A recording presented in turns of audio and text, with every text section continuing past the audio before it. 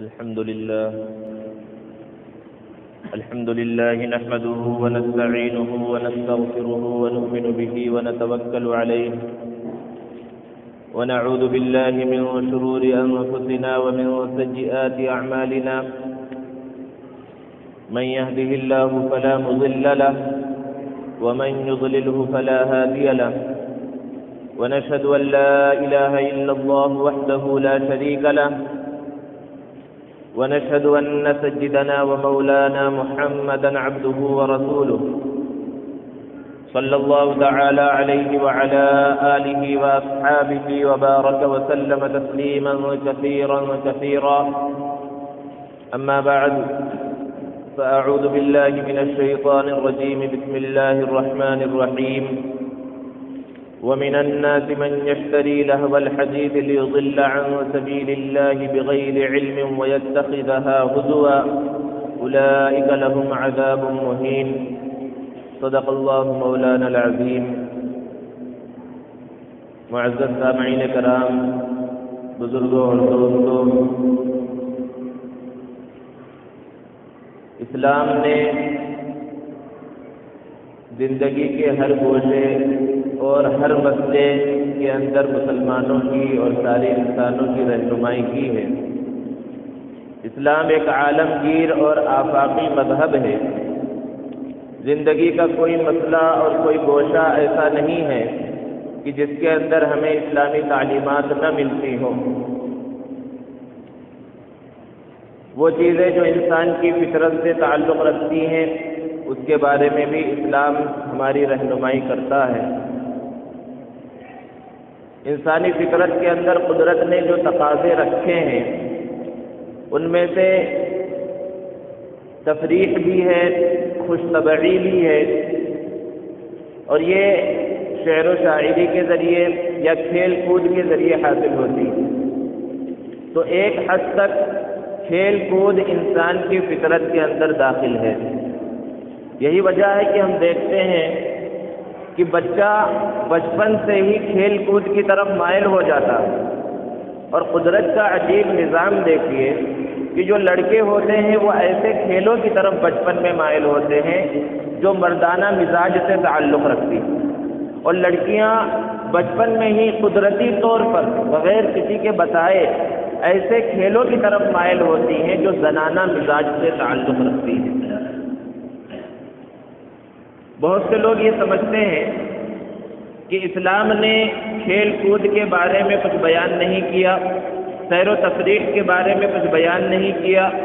اسلام نے صرف عبادات اور اس کے احکامات کو بیان کیا ہے اور کھیل کود اور سیر و تفریح اسلام کے اندر بالکل جائز نہیں ہے۔ یہ ایک بہت بڑی غلط فہمی ہے۔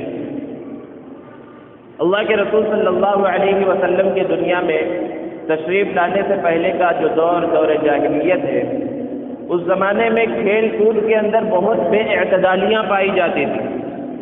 غلاموں کے آپس میں مقابلے کرائے جاتے کشتی کے اور خونی مقابلے ہوتے کہ دونوں میں سے جب تک ایک کی موت نہ ہو جائے تب تک مقابلہ چلتا تھا۔ اور خطرناک درندہ صفت جانوروں سے غلاموں کے اور انسانوں کے مقابلے کرائے جاتے یا تو بہت زیادہ طاقتور کوئی انسان ہوتا کہ اس درندے کو شیر یا چیٹے کو شکست دے دیتا تو بچ جاتا یا پھر جب تک اس کی جان نہ ختم ہو جاتی تب تک مقابلہ جاری رہتا۔ یہ کھیل نہیں تھا بلکہ ایک طرح کا ظلم تھا۔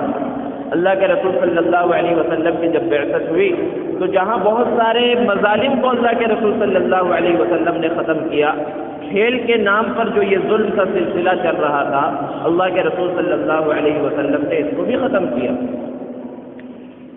اسلام دراصل انسانوں کی آخرت کی کامیابی چاہتا ہے۔ اقوام یورپ کی طرح پوری زندگی کو کھیل بنا لینا اور یہ نظریہ رکھنا کہ کھیل زندگی برائے کھیل ہے، یہ اسلام کے مزاج سے مطابقت نہیں رکھتا۔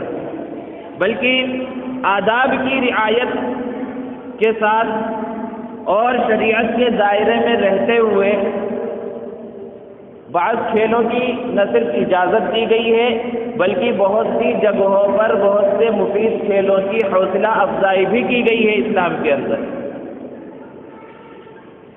اللہ کے رسول صلی اللہ علیہ وسلم، صحابہ کرام اور اسلاف امت کی زندگی، جہاں خوف و خشیت اور للہیت اور عبادت کے اندر مسلمانوں کے لیے نمونہ ہیں اسی طرح ہمارے اسلاف اللہ کے رسول صلی اللہ علیہ وسلم اور آپ کے جانصار صحابہ اور اسلاف امت کی زندگی خوش مزاجی، خوش طبعی اور دل لگی اور کھیل کود کے بارے میں بھی یہ زندگی ان کی نمونہ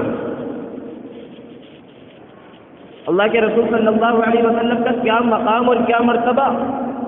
اتنے بلند مرتبے اور رفعت شان کے باوجود اللہ کے رسول صلی اللہ علیہ وسلم اپنے جانثاروں اپنے صحابہ کرام کے ساتھ بسا اوقات دل لگی کیا کرتے تھے؟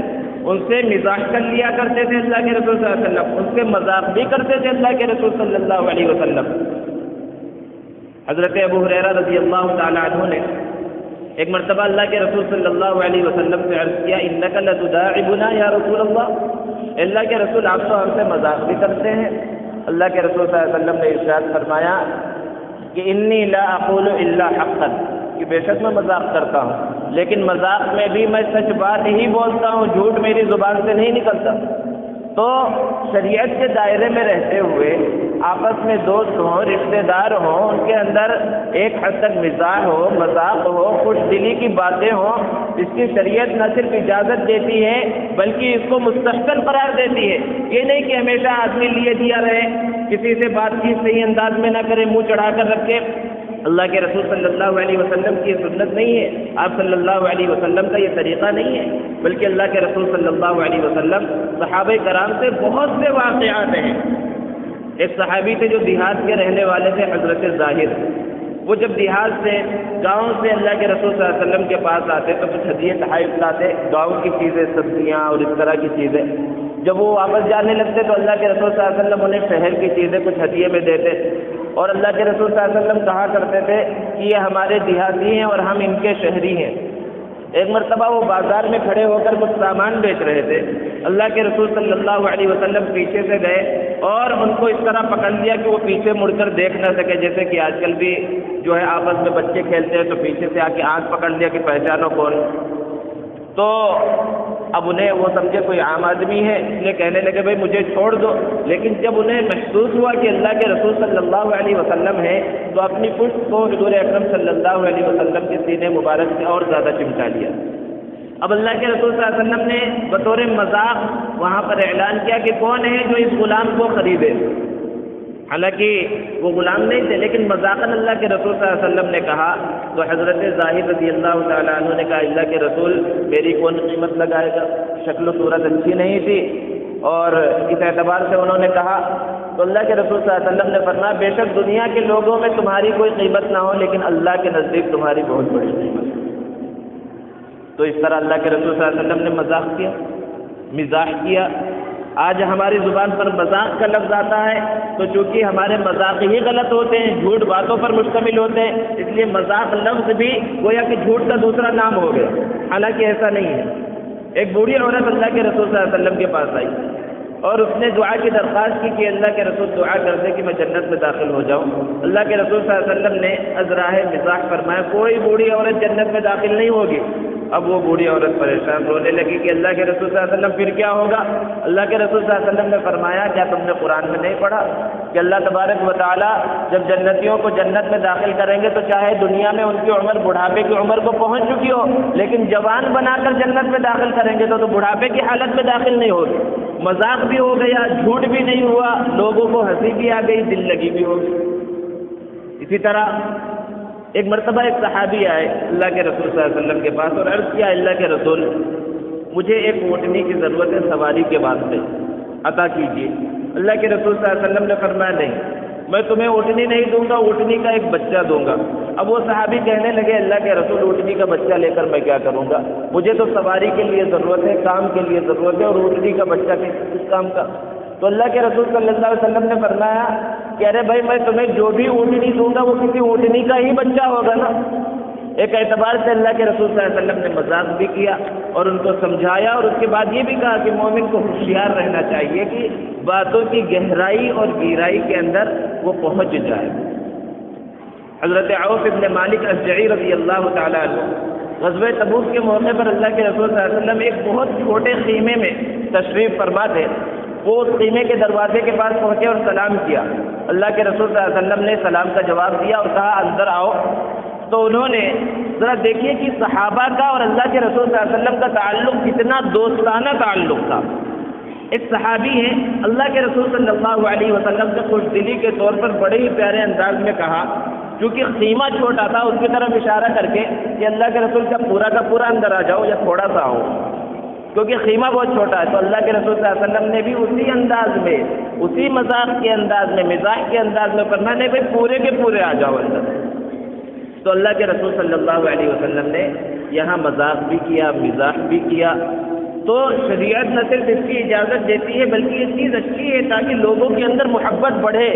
لیکن مذاق کے اندر مزاح کے اندر کبھی ایسی بات نہ ہو کہ ایک آدمی تو خوش ہو گیا لیکن دوسرے کو تکلیف پہنچ گئی۔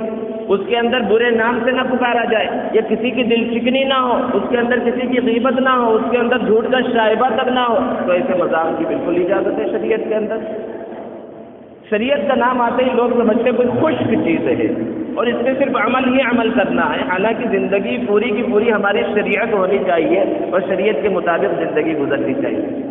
تو جس طرح مزاح مزاح اور مذاق کے احکام بیان کیے گئے اور اس کے نمونے اللہ کے رسول صلی اللہ علیہ وسلم اور صحابہ کی سیرت سے ملتے ہیں، اسی طرح کھیل کود کے احکام کو بھی بیان کیا گیا کہ کون سے کھیل انسان کو کھیلنا چاہیے اور کون سے کھیل نہیں کھیلنا چاہیے، بلکہ کھیلوں کی حوصلہ افزائی اس وجہ سے کی گئی کہ انسان سست اور کاہل نہ بن جائے، کیونکہ اگر وہ ایک جگہ پر بیٹھا رہے گا، نہ چلے گا، نہ پھرے گا، نہ وہ سیر و تفریح کرے گا، نہ وہ کھیل کود کرے گا، تو کیا ہوگا؟ سست بن جائے گا کاہل بن جائے گا، دنیاوی اعتبار سے نقصان تو ہوگا، دین کا نقصان ہوگا۔ صحیح انداز میں وہ عبادت نہیں کر سکے گا۔ اللہ کے سامنے وہ کھڑا نہیں ہو سکے گا، رکو سجدہ نہیں کر سکے گا، کیوں؟ کیونکہ اس نے ورزش نہیں کی، وہ چلا پھرا نہیں وہ کھیلا کودا نہیں، تو اس کے بدن کی طاقت ختم ہو گئی۔ اس کے ہڈیوں کے جوڑ کیا ہے؟ جام ہونے لگے۔ تو اسلام چاہتا ہے کہ لوگوں کے اندر کھیل کود بھی ہو، لیکن اس کے اصول ہے اصول کیا ہے کہ کھیل ایسا ہونا چاہیے کہ جس کے اندر دین کا بھی فائدہ ہو اور دنیا کا بھی فائدہ ہو۔ سب سے پہلا اصول یہ ہے۔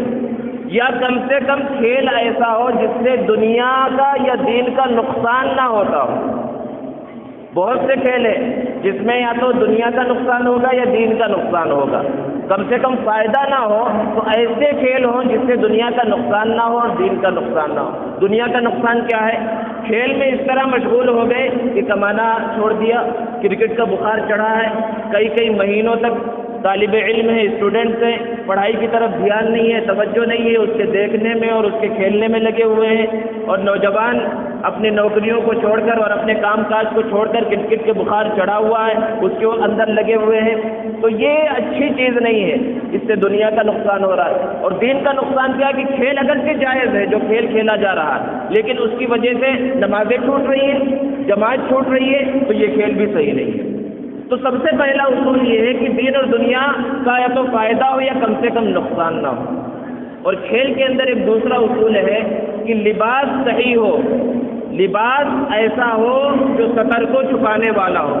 مردوں کا کھیل کے اندر کم سے کم اتنا لباس ہونا چاہیے کہ اس کے ناک سے لے کر گھٹنے تک کا حصہ چھپا ہوا ہو۔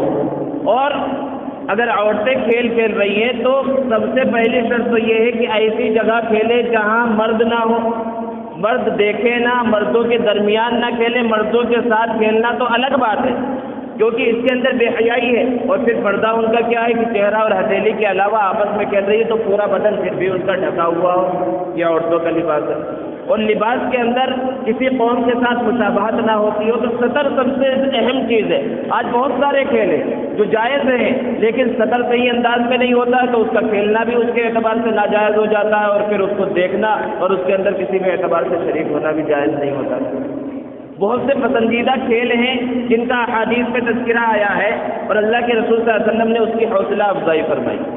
ایک حدیث میں اللہ کے رسول صلی اللہ علیہ وسلم نے ارشاد فرمایا کہ جو چیز اللہ کی یاد سے دور کر دے وہ سب لغو لعب ہے، سب بیکار ہے سوائے چار چیزوں کے۔ پہلی چیز، گھوڑوں کو سدھانا، گھوڑوں کی تربیت کرنا کہ وہ خوب دوڑ سکے۔ کیوں کہ جب گھوڑا اچھا ہوگا تو وہاں اس زمانے میں جہاد ہوتا تھا۔ جہاد کے اندر اچھے انداز میں وہ لڑ سکے گا۔ اسی طرح گھوڑ دوڑ کا مقابلہ اور گھوڑ سواری یہ بھی اچھی چیز ہے، لیکن مقابلے کے بہت سارے شرائط ہیں کہ اس کے اندر جوا نہ ہو۔ تو پھر گھوڑ دوڑ اور گھوڑوں کی سواری اور اسی طرح اونٹوں کا آپس میں مقابلہ کرنا یہ بھی صحیح ہے۔ اور اللہ کے رسول صلی اللہ علیہ وسلم نے فرمایا، دوسری چیز، دو نشانوں کے درمیان دوڑ لگانا۔ آپس میں چند نوجوان ہیں یا بڑی عمر کے لوگ ہیں آپس میں مقابلہ رکھے نشان طے کر لے کہ وہاں تک دوڑا جائے گا، دیکھیں کون پہلے پہنچ رہا یہ بہت اچھی چیز ہے۔ صحابہ کرام رضوان اللہ تعالیٰ علیہ مجمعین، کیا مقام اور کیا مرتبہ ہے؟ لیکن آپس میں دوڑ کے مقابلے رکھتے تھے۔ حضرت عمر فاروق رضی اللہ تعالیٰ عنہ جیسے جلیل القدر صحابی، حضرت زبیر ابن العوام رضی اللہ تعالیٰ عنہ جیسے جلیل القدر صحابی، دونوں کا ایک مرتبہ دوڑ کا مقابلہ ہوا۔ حضرت زبیر ابن العوام آگے بڑھ گئے۔ نشان جو تھا اس سے آگے جلدی وہ پہنچ گئے پھر دوسری مرتبہ مقابلہ ہوا تو حضرت عمر فاروق رضی اللہ تعالیٰ عنہ آگے بڑھ گئے۔ انصار کے ایک شخص سے دوڑنے میں بہت مشہور تھے، کوئی ان سے آگے نہیں بڑھتا تھا۔ اور ہمیشہ لوگوں کو چیلنج کیا کرتے تھے کہ چلو بھائی، وہاں تک کون ہے جو مجھ سے مقابلہ کرے؟ سب لوگ تیار ہو جاؤ، دیکھو میں سب کو پچھاڑ دیتا ہوں۔ تو حضرت سلمہ ابن الاقبا رضی اللہ تعالیٰ عنہ تو ان کو یہ بات ان کی یہ بات پسند نہیں ہے کہ یہ بار بار لوگوں کو چیلنج کرتے رہتے اور اللہ کے رسول صلی اللہ علیہ وسلم کے پاس گئے۔ اور کہا، اللہ کے رسول، آپ اجازت دیجیے میں ان کے ساتھ دوڑ کا مقابلہ کروں گا۔ کسی سفر سے واپس آ رہے تھے اور مدینہ جانا تھا۔ اللہ کے رسول صلی اللہ علیہ وسلم نے اجازت دی اور حضرت سلمہ ابن الاسوا رضی اللہ تعالیٰ عنہ نے دوڑ کا مقابلہ کیا اور پہلی مرتبہ ان انصاری صحابی کو ہرا دیا اور آگے نکل گئے۔ اسی طرح اللہ کے رسول صلی اللہ علیہ وسلم نے جو اس کے اندر تیسری چیز بیان فرمائی کہ جو کھیل نہیں ہے اور یعنی لہو و لعب کے اندر شامل نہیں ہے، وہ کیا ہے؟ آپس میں میاں بیوی کا ایک دوسرے کے ساتھ کھیلنا۔ ہنسی مذاق یہ شریعت کے اندر بہت ہی پسندیدہ چیز ہے کہ شوہر بالکل الگ تھلگ رہتا ہے۔ کبھی ہنسی مذاق نہیں، تو اس کے اندر آپس میں لڑائی جھگڑے ہوتے ہیں۔ اللہ کے رسول صلی اللہ علیہ وسلم کی سیرت طیبہ کو دیکھیے۔ کہ حضرت عائشہ صدیقہ رضی اللہ تعالی عنہ کے ساتھ اللہ کے رسول صلی اللہ علیہ وسلم نے دوڑ کا مقابلہ کیا۔ احادیث مبارکہ کے اندر اس کی تفصیل موجود ہے کہ کسی قافلے سے واپس آ رہے تھے اور سارے قافلے کو اللہ کے رسول صلی اللہ علیہ وسلم نے آگے بھیج دیا۔ کھلا میدان ہے، کوئی نہیں تھا۔ اب حضرت عائشہ صدیقہ رضی اللہ تعالیٰ عنہ سے اللہ کے رسول صلی اللہ علیہ وسلم نے کہا، چلو ہم دوڑ کا مقابلہ کرتے ہیں۔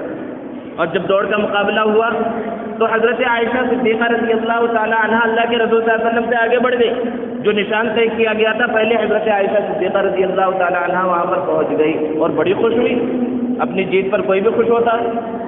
پھر کچھ دنوں کے بعد پھر ایسا موقع آیا کہ وہاں کوئی موجود نہیں تھا۔ یہ سب سے پہلی شرط ہے۔ اب یہ سنا گیا کہ بھائی، میاں بیوی کا دوڑ کا مقابلہ کرنا چاہیے۔ اب نکل گئے روڈ کے اوپر اور مقابلہ کرنے لگے۔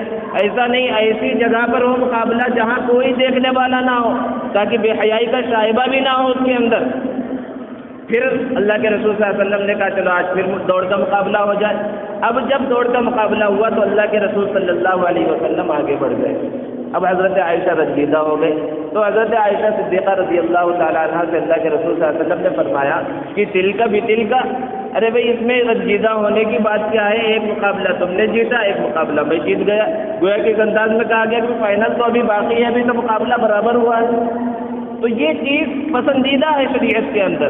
کہ ایسے کھیلو جیسے دوڑنا، آپس میں چلنا۔ اور آج کل ڈاکٹر یہی بولتے ہیں دوڑو، چلو واکنگ کرو، اس سے صحت بنی رہے گی۔ اور شریعت کے اندر اللہ کے رسول صلی اللہ علیہ وسلم نے اس کی حوصلہ افزائی بیان فرمائی۔ اور چوتھی چیز ہے تیراکی۔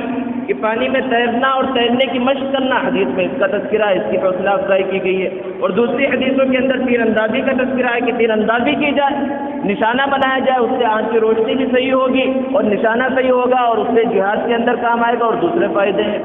تو یہ کھیل ہیں جو پسندیدہ کھیل ہیں اسی طرح کشتی کا مقابلہ۔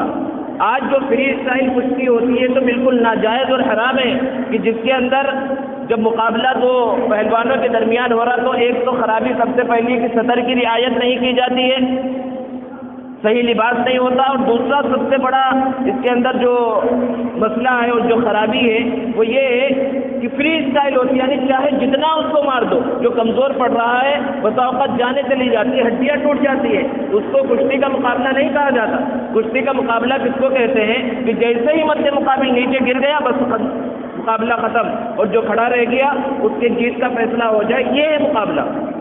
رکانا پہلوان، بہت بڑا پہلوان۔ اللہ کے رسول صلی اللہ علیہ وسلم کو چیلنج کیا، کافر ہے۔ اللہ کے رسول صلی اللہ علیہ وسلم نے کشتی کے مقابلے کے اس چیلنج کو قبول کیا اور اللہ کے رسول صلی اللہ علیہ وسلم نے رکانا سے اس کشتی کا مقابلہ کیا اور اللہ کے رسول صلی اللہ علیہ وسلم نے ایک ہی بار میں اس کو چت کر دیا، وہ ہار گیا اور رکانا سے رکانا پہلوان سے حضرت رکانا بن گئے۔ اسلام انہوں نے قبول کر لیا۔ تو ایسی کشتی جس کے اندر کسی کے نقصان کا، کسی عضو کے نقصان کا اندیشہ نہ ہو، یہ پسندیدہ، تو یہ پسندیدہ کھیل ہے۔ اور بہت سے وہ کھیل ہیں جس کی سراہدن احادیث مبارکہ کے اندر ممانعت آئی ہے۔ ان سے ہر مسلمان کو بچنا چاہیے۔ اللہ کے رسول صلی اللہ علیہ وسلم نے ان میں سے بیان فرمایا، شطرنج کا کھیل۔ چاہے اس کے اندر آپس میں جوا نہ ہو، تب بھی شطرنج کھیلنا صحیح نہیں ہے۔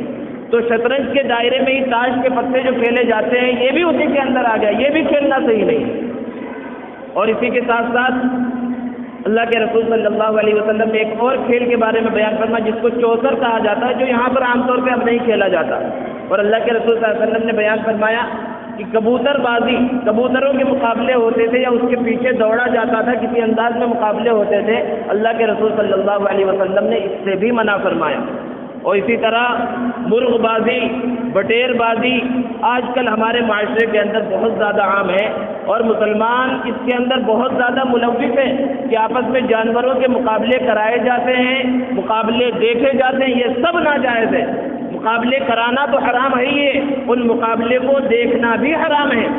اللہ کے رسول صلی اللہ علیہ وسلم نے سراحتاً ارشاد فرمایا، نہا رسول اللہ صلی اللہ علیہ وسلم عن التحریش بین البہائم۔ جانوروں کے درمیان آپس میں مقابلہ کرنے سے اللہ کے رسول صلی اللہ علیہ وسلم نے منع فرمایا۔ آج مسلمانوں کو دیکھا جاتا ہے، غیر جو کریں تو کریں، وہ تو مکلف ہے نہیں۔ کہ بڑے بڑے مرغے خرید رہے ہیں۔ اور ہزاروں روپے کی قیمت دے کر مرغے خرید خریدے جا رہے ہیں، ان کو پالا جا رہا ہے، پالنے میں کوئی خرابی نہیں لیکن اس نیت سے کہ وہ فلاں کے پاس بہت بڑا مرغا ہے، وہ بہت طاقتور ہے اور بڑی بڑی خصوصیات کا مالک ہے، اس سے مقابلہ کرانا ہے۔ مقابلے کرائے جاتے ہیں اور مرغے جو ہے زخمی ہوتے ہیں، خون نکلتا ہے، تکلیف میں آتے ہیں، بسا اوقات مر جاتے ہیں، تو یہ مقابلے صحیح نہیں۔ اسی طرح بھینسوں کا آپس میں مقابلہ کرانا بیلوں کا مقابلہ کرانا، یہ کسی بھی انداز میں ہو، یہ سب جائز نہیں ہے۔ جانوروں کا آپس میں مقابلہ کرانا، یہ سب جائز نہیں۔ اسی طرح کسی جانور سے انسان کا مقابلہ کرنا اسے کھیل بھی آج پائے جاتے ہیں کہ بڑے بڑے خطرناک قسم کے بیلوں سے یا بھینسوں سے جو ہے، انسانوں کا مقابلہ ہوتا ہے، کھیل ہوتا ہے، اس کے اندر جانے چلی جاتی ہیں، یہ کھیل بھی جائز نہیں ہے۔ تو ایسے جو کھیل ہیں، ان سے بچنے کی ضرورت ہے۔ اور بہت سارے وہ کھیل ہیں کہ جس کے اندر کوئی فائدہ نہیں ہے، لیکن کسی حد تک اس کی گنجائش بھی ملتی ہے کہ اگر اس کے اندر جو پہلے اصول بیان کیا گیا کہ دین کا نقصان نہ ہوتا ہو کہ اتنے منہمک نہیں ہو گئے کہ جماعت چھوٹ گئی یا نماز وغیرہ چھوٹ گئی، جیسے کہ کیرم بورڈ ہے۔ اسی طرح لوڈو وغیرہ ہے کہ حقیقت میں اس سے کچھ فائدہ نہیں، نہ کوئی ورزش ہوتی ہے، نہ کچھ ہوتی ہے۔ لیکن اگر کوئی کھیل رہا تو اس کو حرام اور ناجائز نہیں کہا جائے گا، لیکن پھر بھی ان کھیلوں سے بچنے کی ضرورت ہے۔ ایسے کھیل کھیلے جس سے انسان کے بدن کے اندر کچھ طاقت حاصل ہو، دوڑنا ہو، چلنا پایا جائے، کھیل ایسے ہونے چاہیے۔ اور اسی طرح آج کے زمانے میں جو وبا پھیلی ہوئی ہے موبائل کی، اور اس سے پہلے سے چلا آ رہا تھا ویڈیو گیمز وغیرہ۔ تو ویڈیو گیم جو موبائل کے اندر کھیلے جائیں یا لیپ ٹاپ کے اندر یا کمپیوٹر کے اندر یا آئی پیڈ کے اندر کسی بھی چیز کے اندر کھیلے جائیں، اس کے احکام بھی علماء سے معلوم کرنے چاہیے۔ کہ آج حال یہ ہو گیا ہے کہ ہمارے نوجوان اور بچے میدانوں میں نکلنا ہی نہیں چاہتے۔ وہ اپنے موبائل کو اور اپنے کمپیوٹر کو ہی میدان سمجھتے ہیں اور وہی گولی چلا رہے ہیں، وہی ریسنگ کر رہے ہیں وہیں بھاگنے کی مشق بھی سب وہی اور سب وہی جیت بھی جا رہے ہیں اور جیت کا جشن بھی منا لے رہے ہیں۔ اور اس سے ان کی صحت خراب ہو رہی ہے، آنکھوں پر اثر پڑ رہا ہے، وزن بڑھ رہا ہے، طرح طرح کی بیماریاں پھیل رہی ہیں۔ تو ویڈیو گیم ایک تو یہ فائدے کی چیز ہے ہی نہیں۔ لیکن بہرحال جہاں تک جائز اور ناجائز کا مسئلہ ہے، اگر ویڈیو گیمز ایسے ہیں جس میں جاندار کی تصویریں نہیں ہیں، جیسے کہ صرف کار ہے، ٹرین ہے، جہاز ہے، ایسی چیزیں ہیں اور ان کے اندر مقابلہ ہو رہا ہے، تو یہ اس کی گنجائش ہے۔ یا جاندار تو ہیں، لیکن بالکل کارٹون کی شکل میں کہ ان کا چہرہ ظاہر نہیں ہوتا اور ان کو کوئی انسان کی شکل میں سمجھ نہیں سکتا، اس کی بھی ایک حد تک گنجائش ہے۔ لیکن وہ بڑے ویڈیو گیمس چاہے وہ کرکٹ کے ہوں، والی بال کے ہوں، یا فٹ بال کے ہوں، یا کشتی کے مقابلے کے ہوں، جس کے اندر بالکل انسان صاف نظر آتا ہے، آنکھیں، ناک، کان وغیرہ صاف نظر آتے ہیں۔ ایسے کھیل ناجائز ہیں ویڈیو گیم کے اندر بھی۔ اس سے خود بھی بچنا چاہیے اور بچوں کو بھی بچانا چاہیے۔ اور دوستوں اصل چیز تو یہ کہ ان کھیلوں کے علاوہ میدان میں نکل کر کھیلے تاکہ اس سے فائدہ ہو۔ دین کا فائدہ سب سے بڑا کیا ہے کہ جب وہ چست رہے گا صحت مند رہے گا، تو اچھے انداز میں عبادت کر سکے گا، تلاوت کر سکے گا، اللہ کو راضی کر سکے گا۔ تو بہرحال شریعت نے کھیلوں کے مسائل اور کھیل کود کے احکام بھی بیان کیے ہیں۔ اس عنوان کو اختیار کرنے کا جو سب سے بڑا مقصد آج کے دن وہ یہ ہے، پتنگ بازی۔ جس کے اندر مسلمان معاشرہ اور مسلمان نوجوان بہت حد تک مبتلا ہے حالانکہ ہر کوئی جانتا ہے کہ یہ غیروں کا تہوار ہے، ہمارے برادران وطن کا ایک تہوار ہے۔ اس کے اندر اڑائی جاتی ہے، یہ کوئی قومی چیز نہیں ہے، بلکہ ایک مذہبی چیز ہے۔ تو سب سے پہلے تو کسی دوسرے مذہب کی چیز کو اختیار کرنا یہی درست نہیں ہے۔ اللہ کے رسول صلی اللہ علیہ وسلم نے منع فرمایا اور صاف ارشاد فرمایا کہ من تشبہ بقوم فهو منهم کہ جو کسی قوم کی مشابہت اختیار کرے، اس کا تعلق انہیں سے ہے، مسلمانوں سے اس کا تعلق نہیں ہے۔ اور پھر ہمیں یہ سمجھنے کی ضرورت ہے کہ ان کا جو یہ تہوار ہے، اس کی بنیاد کیا ہے؟ بہت سے محدثین نے بیان کیا، جو ہندو محدثین ہیں اور صرف محدثین ہیں، جو ہندو مذہب کے اوپر بہت گہری نظر رکھتے ہیں کہ ان کی ایک دیوی ہے، سرسوتی دیوی، اس کو خوش کرنے کے لیے یہ تہوار منایا جاتا ہے۔ تو یہ تو اپنی دیوی کو خوش کرنے کے لیے منا رہے ہیں۔ آپ کس لیے منا رہے ہیں؟ کیا آپ بھی ان کی دیوی کو خوش کرنا چاہ رہے ہیں جس کی وجہ سے اس کے اندر شریک ہو رہے ہیں؟ اسی طرح یہ جو جنوری کا مہینہ شروع ہوتا ہے تو ٹھنڈک آہستہ آہستہ گویا کہ اب ختم ہو رہی ہے اور موسم بہار شروع ہو رہا ہے، بہار کا موسم۔ کہ ہر طرف اب ہریالی ہریالی نظر آئے گی اور موسم بہار کے آنے کے خوشی میں ان کے پاس دو عیدیں منائی جاتی ہیں۔ ایک تو یہی سنکرانتی کی عید ہے اور دوسری فبروری کے بالکل شروع میں منائی جاتی ہے، جس کو بسنت کی عید کہا جاتا ہے۔ پہلے یہ عیدیں دونوں بالکل الگ الگ تھی ایک کا دوسرے سے کوئی تعلق نہیں تھا اور اس کی بنیاد مذہبی ہے۔ ان کے مذہب کے اندر اس کی جڑیں گڑی ہوئی ہیں، لیکن آہستہ آہستہ یہ دونوں ایک ہو گئی۔ اور پھر بسنت تک یعنی فبروری کے مہینے تک یہ پتنگ بازی کا اور پتنگ اڑانے کا یہ سلسلہ مستقل جاری رہتا ہے۔ اور خصوصاً وہ ملک جو اسلام کے نام پر بنایا گیا، ہمارا پڑوسی ملک، یہاں سے زیادہ، یہاں تو اللہ کا شکر ہے، مسلمان اتنی بڑی تعداد کے اندر اور بہت زیادہ اہتمام کے ساتھ اس میں شریک نہیں ہوتے۔ لیکن ہمارے پڑوسی ملک کے اندر بہت اہتمام کے ساتھ کروڑوں روپے مسلمان اس کے اوپر پانی کی طرح پتنگوں اور ڈور کے اوپر بہا دیتے ہیں اور حکومت کی سرپرستی میں بعض جگہوں پر ہوتا ہے۔ تو وہاں کی بنیاد کیا ہے؟ لاہور شہر کے اندر بہت بڑا میلہ بنایا جاتا ہے بسنت کا اور اس میں پتنگ بازی کے مقابلے بڑے بڑے میدانوں میں اور بڑے بڑی عمارتوں کی چھتوں پر ہوتے ہیں۔ اس کی بنیاد کیا ہے؟ کہ اورنگزیب علیہ الرحمہ جو مغل بادشاہ تھے اور بہت اچھے بادشاہ تھے، ان کے زمانے میں لاہور کے اندر ایک بچہ تھا، چودہ پندرہ سال کی عمر کا، جس کا نام حقیقت رائے تھا، ہندو تھا۔ وہ اسکول پڑھنے جاتا تھا، مسلمان بھی وہاں پڑھنے آتے تھے۔ کسی مسلمان بچے سے جھگڑا ہوا، اسکول میں کبھی کبھی ہو جاتا ہے۔ تو اس نوجوان نے اللہ کے رسول صلی اللہ علیہ وسلم اور حضرت فاطمۃ الزہرا رضی اللہ تعالیٰ عنہ کی شان میں گستاخی کر دی۔ آپس کی لڑائی تھی اور اس میں اللہ کے رسول صلی اللہ علیہ وسلم کی گستاخی کر دی اور حضرت فاطمۃ الزہرا رضی اللہ تعالیٰ عنہ کی شان میں گستاخانہ کلمات کہے۔ یہ مقدمہ عدالت میں پہنچا اور اللہ کے رسول صلی اللہ علیہ وسلم کی گستاخی کی سزا موت۔ اس زمانے میں وہاں پر وہ قاعدہ قانون تھا۔ وہاں پر قاضی نے یہ فیصلہ کیا کہ اس کو جو ہے پھانسی کے اوپر چڑھا دیا جائے۔ تو وہاں کا جو گورنر تھا زکریہ خان اس کے پاس یہ غیر مسلم حضرات اپنے مقدمے کو لے کر گئے کہ کسی طرح اس کی پھانسی کو رکوا دیا جائے، لیکن زکریہ خان جو گورنر تھا، اس نے بھی اس فیصلے کو باقی رکھا اور کہا کہ اس کو بدلا نہیں جائے گا اور اسے ایک ستون سے باندھ کر پھر پھانسی پر چڑھا دیا گیا۔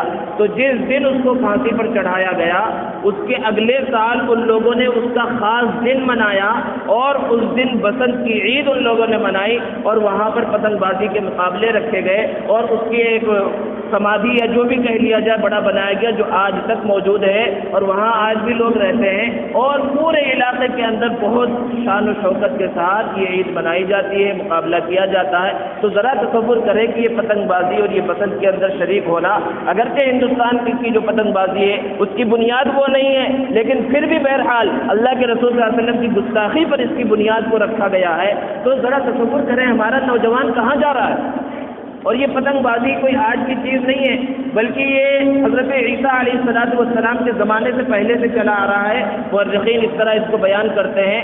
اور آتے آتے پھر یہ ہندوؤں کی اور برادران وطن کی ایک خاص پہچان، ان کی مذہبی پہچان بن گئی۔ اور پھر اس کے جو نقصانات ہیں، ان نقصانات کا تو الگ ہے۔ بہت بڑے بڑے نقصان ہیں۔ ایک تو مال کا ضیاع ہوتا ہے۔ وقت ضائع ہوتا ہے نمازیں قضا ہوتی ہے اور عام طور پر چھتوں پر چڑھ کر اس کو چڑھایا جاتا ہے، بے پردگی ہوتی ہے اور وہ کاٹا، یہ کاٹا اور یہ شور کسی کی پتنگ کٹتی ہے تو یہ شور مچایا جاتا ہے اور اس کے اندر جو خرابیاں ہیں، علماء نے اس کو بیان فرمایا۔ کہ سب سے زیادہ جانوں کا ضیاع ہوتا ہے۔ ابھی آپ لوگوں نے ایک خبر پڑی ہوگی یا ویڈیو بھی دیکھا ہوگا کہ ایک معصوم بچے کی گردن کس طرح یہاں سے لے کر یہاں تک ڈور کی وجہ سے یہیں پر ہندوستان کے اندر، ہمارے علاقے کے اندر کٹ گئی۔ کہ وہ تیز دھار ہوتی ہے، کانچوں کانچ کے ٹکڑوں سے اس کو بنایا جاتا ہے تاکہ دوسروں کی پتنگ کو کاٹا جا سکے، اس سے جانوں کا ضیاع ہوتا ہے۔ چھتوں پہ لوگ گر جاتے ہیں۔ انیس سو چھیانوے سے لے کر دو ہزار چھ تک صرف دس سال کی ایک رپورٹ ہے ہمارے پڑوسی ملک کی۔ کہ دس سال کے اندر دو سو اکیس جانے پتنگ اڑانے کے اندر گئی اور چھ ہزار چھ سو پینسٹھ لوگ وہاں پر زخمی ہوئے سخت انداز میں صرف ان دس سالوں میں اور پھر اس کے بعد کی کوئی خاص رپورٹ نہیں ملی، لیکن اس میں تو اور زیادہ اضافہ ہوا، اس میں جانوں کا اور زیادہ دیا ہوا۔ اور پھر پتنگ کے ایک پتنگ جو معمولی قیمت کی ہوتی ہے، جب کہیں سے کٹتی ہے تو کتنے لوگ اس کے پیچھے دوڑتے ہیں؟ جس طرح کبوتر کے پیچھے دوڑنے کو اللہ کے رسول صلی اللہ علیہ وسلم نے فرمایا کہ کبوتر بازی کا مقابلہ ہوتا ہے، تو جو کبوتر کے پیچھے دوڑتا ہے، کبوتر کے پیچھے دوڑنے والا شیطان ہے۔ اسی طرح پتنگ کے پیچھے دوڑنے والا بھی شیطان ہے کہ دوسرے کی چیز کو وہ لوٹنے کے لیے جا رہا ہے۔ اور پھر جب کسی کی چیز کو لوٹ رہا ہے تو لوٹنے والے کے بارے میں اللہ کے رسول صلی اللہ علیہ وسلم نے فرمایا کہ جب کوئی لوٹنے والا کہیں لوگوں کی نظروں کے سامنے لوٹ رہا ہو کہ لوگ اسے دیکھ رہے ہوں تو اس کا ایمان باقی نہیں رہتا اور یہاں لوگوں کے سامنے کھلے عام لوٹا جاتا ہے۔ ایسے ایسے واقعات دیکھے گئے کہ بڑی گاڑی ہے۔ مرسڈیز کار میں ایک آدمی جا رہا ہے، اسے ایک پتنگ دکھی وہاں پر تو اس نے کار کو روکا اور کار وہ ایک معمولی قیمت کی پتنگ کو اٹھایا اور اپنی ڈگی کے اندر رکھا۔ اس سے ذرا تصور کیجیے کہ ذہنیت کیا بن گئی ہے۔ اور پتنگ کو لوٹا جائے تو اس کے اندر ایک گنا ہے۔ لیکن یہ جو ڈور ہے ڈور کو لوٹا جاتا ہے تو پتنگ تو ایک ہی آدمی لوٹتا ہے، ایک گنہ گار ہوا اس وقت، ایک پتنگ کو لوٹا گیا۔ لیکن ایک پتنگ کٹتی ہے تو ڈور کو کئی لوگ لوٹتے ہیں۔ تو جتنے لوگ لوٹ رہے ہیں، سب کے سب اس گناہ کے اندر شریک ہو رہے ہیں۔ اور جب پتنگ اڑایا جا رہا ہے، تو وہاں پر ذہن میں کیا ہے؟ کہ ہم فلاں کو نقصان پہنچائے، اس کی پتنگ کو کاٹ دیں اور یہ دوسروں کو نقصان پہنچانے کی کتنی سخت معنات حدیث مبارکہ کے اندر آئی ہے۔ تو ایسی بہت ساری خرابیاں بے شمار مال کا ضائع ہونا اور لوگوں کی جانوں کا نقصان اور سب سے بڑی چیز غیروں کے ساتھ مشابہت اور اللہ کے رسول صلی اللہ علیہ وسلم کی گستاخی پر اس کی بنیاد کا ہونا، ان سب چیزوں کو سامنے رکھتے ہوئے کیا کوئی نوجوان، کیا کوئی مسلمان یہ تصور بھی کر سکتا ہے کہ وہ غیروں کے اس تہوار کے اندر شریک ہو؟ لوگ کہتے ہیں کہ بھائی ہر چیز کو مولوی حضرات مذہب سے جوڑ دیتے ہیں۔ ارے بھائی اس کے اندر خوشی مل رہی ہے۔ کیا اسلام کی خوشیاں کافی نہیں ہیں؟ اسلام کے اندر اللہ کے رسول صلی اللہ علیہ وسلم نے جو چیزیں بیان فرمائی وہ کافی نہیں ہے کہ غیروں سے جب تک ہم کوئی چیز نہیں لیں گے، اس کی خوشی نہیں ہوگی۔ کل یہ کہہ دینے سے کام نہیں چلے گا۔ قیامت کے دن کے ہمارے بچے کر رہے تھے۔ بچے کر رہے ہیں تو جس طرح بچے اگر وہ بالغ ہیں تو گنہگار ہو رہے ہیں۔ اور بالغ نہیں ہے تو ان کے والد تو خود گنہگار اور ان کے جتنے سرپرست ہیں جو اس کی حوصلہ افزائی کر رہے ہیں اور اس کے واسطے پیسے خرچ کر رہے ہیں اور کسی بھی انداز میں حوصلہ افزائی کر رہے ہیں، سب کے سب گنہگار ہیں۔ اس لیے اللہ تبارک و تعالیٰ سے دعا ہے کہ ہمارے امت مسلمہ کے جو نوجوان ہیں، انہیں دین کی صحیح سمجھ عطا فرمائیں اور غیروں کے طریقوں سے بچنے کی توفیق عطا فرمائیں واخر دعوانا الحمد للہ رب العالمین۔